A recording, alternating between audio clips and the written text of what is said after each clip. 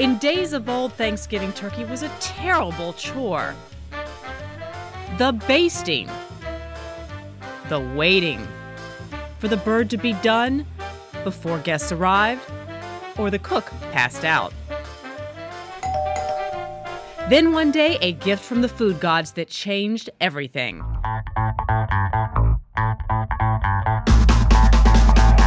The deep turkey fryer, birds crisp on the outside, juicy inside in 30 minutes or less. This divine dinner inspiration spread north and south from Baton Rouge to Brooklyn, where one chef turned frying into finance at Jive Turkey. 4,000 birds shipped each Thanksgiving, 65 to $75 a pop, a quarter million in sales to those crying foul.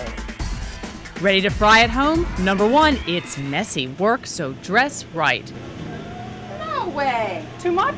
Way too much. I've got something better you can do. Better. That's great. All right, let's fry some turkey.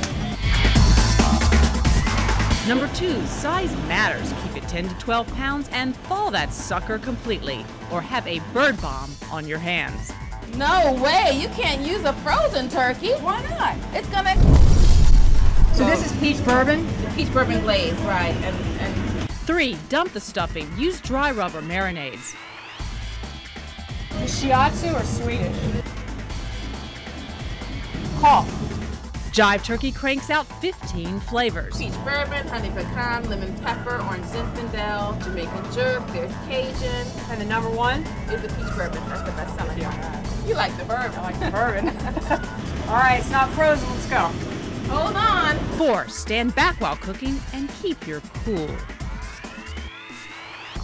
Three minutes per pound, peanut oil, 325 to 375 degrees. 10 minutes to cool, and then you eat. It's modern day deep fried bird bliss, quick and dirty. P.S. Too much peach bourbon sauce? Get a ride home. Tripping on tryptophans for the Wall Street Journal, I'm Wendy Bounds.